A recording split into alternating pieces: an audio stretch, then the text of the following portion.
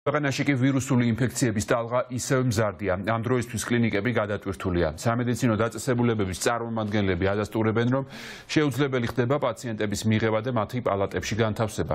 ამ ეტაპზე ქვეყანაში ცირკულირებს როგორც COVID-ი, ისე რამდენიმე სეზონური გრიპი. ამ ფონზე ინფექციური დირექტორი თენგის ცერცვაძე აცხადებს, რომ COVID-ის სამკურნალო რამდენიმე მედიკამენტს ვადა გაუვიდა, კერძოდ პლაქსოვიდისა და რემდესივირის მარაკის შესავსებად ახლა იწყება მოლაპარაკებები.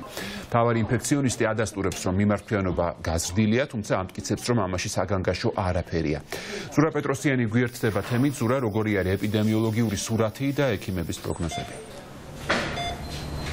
მიშა როგორც მოსალოდნელი იყო ეპიდემიოლოგიური სიტუაცია კიდევ უფრო დამძიმდებოდა ქვეყანაში და რა თქმა უნდა ეს უკავშირდება იმას რომ დღეიდან უკვე აღდგა სასწავლო პროცესი როგორც სკოლებში ასევე ბაღებში რაც კიდევ უფრო გაუარესებს ექიმების თქმით ეპიდემიოლოგიურ მდგომარეობას. ვინაიდან ჩნდება მეტი ვარაუდი იმისა რომ კონტაქტის დროს გადაეცემა სასუნთქისების ინფექციები და მათ შორის რა თქმა უნდა საუბარი არის ძირითადად გრიპის ვირუსზე რომლის ცირკულაციაც ქვეყანაში ბოლო 2 თვის განმავლობაში განსაკუთრებით გაზრდილია ექიმები გვიდასტურებენ რომ დაახლოებით სრული ავადობის 50% დღეს სწორედ A ტიპის გრიპის ვირუსზე მოდის, თუმცა ასევე საყურადღებოა ის, რომ გაზრდილი არის COVID ინფექციის ცირკულირებაც COVID-19-ის, რაც იმას ნიშნავს, რომ რა თქმა უნდა დღეს ამას აღარ აქვს ეპიდემიის სახე, თუმცა საყურადღება რჩება საერთო ავადობაში სწორედ COVID-ის გავრცელებაც. განსაკუთრებული აქცენტი არის გაკეთებული პედიატრიულ პაციენტებზე და დღეს ჩვენ სწორედ პედიატრების აზრი მოვისმინეთ, ექიმები გვიდასწორებენ იმას, რომ ყოველდღიურად სულ უფრო მზარდიანი ის მომართვიანობა და განსაკუთრებით ეს ეხება იმ პედიატრებს, რომლებიც რომლებიც მუშაობენ სტაციონარულ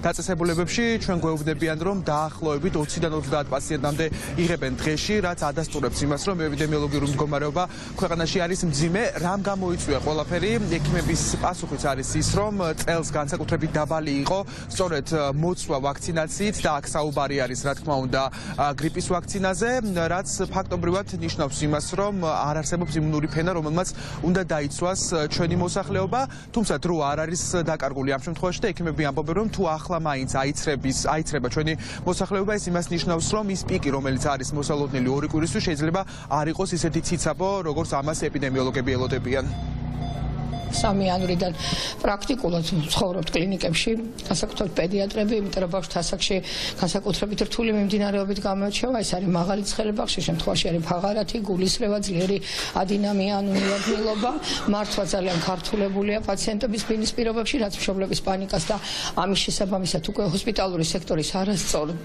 ასე ვთქვათ, გადატვირთვას იწვევს. 24-26 ყოფილა 28 პაციენტი ჰოსპიტალიზაციას ქართულებულია, იმიტომ რომ მაგალითად თუნდაც შაბათის მაგალითი ჩემი შეიძლება ვთქვა, რომ შუადღე შემოსული პაციენტის გვიან საღამომდე მოთავსება ვერ მოვახერხეთ. მომართვიანობა არ შეცვლა ჯერჯერობით, იმიტომ რომ დღეს დაიწყო ასე ვთქვა სწავლის პროცესი განახლდა და ალბათ აწე უფრო მოიმატებს მომართვიანობა. ამ ეტაპზე პედიატრიაში გვაქვს ადგილები და გასაწერია კიდევ 8-9 ბავშვი და ადგილი იქნება.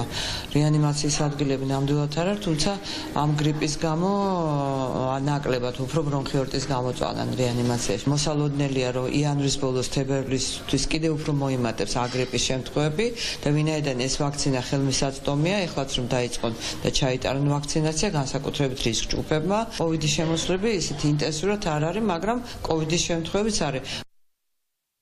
კლინცისტებიც და ეპიდემიოლოგებიც ვარაუდობენ, რომ პიკი სავარაუდოდ გავრცელების გრიპისა და კოვიდის უკვე დადგება თებერვლის შუა რიცხვებისთვის და ამ დროისთვის უნდა იყოს მომზადებული როგორც კლინიკები, ასევე ეპიდემიოლოგიური სამსახური. დღის კიდევ ერთი საინტერესო სიახლე არის თენგის ცერცვაძის განცხადება, რომელმაც ფაქტობრივად აღიარა, რომ კოვიდის მედიკამენტებს, კოვიდის სამკურნალო მედიკამენტებს გაუვიდათ ვადა, რაც იმას ნიშნავს, რომ ფაქტობრივად ეს მედიკამენტები არ გამოუყენებიათ და დიდი რაოდენობით იყო აქამდე შესყიდული, თუმცა ასევე ქვეყნის მთავარი ინფექციონისტი ექსპერტი ამბობს, რომ მიმდინარეობს ახალი ახალ შესყიდვაზე მუშაობა, რაც იმას ნიშნავს, რომ კიდევ დაიხარჯება დამატებითი თანხა სახელმწიფო ბიუჯეტიდან და როგორ აპირებს ჯანდაცვის სამინისტრო რომ მოიცვას ეს მოსახლეობა, რომელსაც დაჭირდება ეს პრეპარატები, ისევ და ისევ უცნობი რჩება თუ გავითვალისწინებთ იმას, რომ დაავადებათა კონტროლის ეროვნული ცენტრი ისევ დუმს და არ აქვეყნებს სტატისტიკას, რომელიც უნდა ამბობდეს თუ როგორი არის როგორც კოვიდის გავრცელება საქართველოში, ასევე გრიპის ვირუსის, რომელიც ინდივიდუალური ექიმების შეფასებით დაავადების დაახლოებით 50%-ში ins Dreh.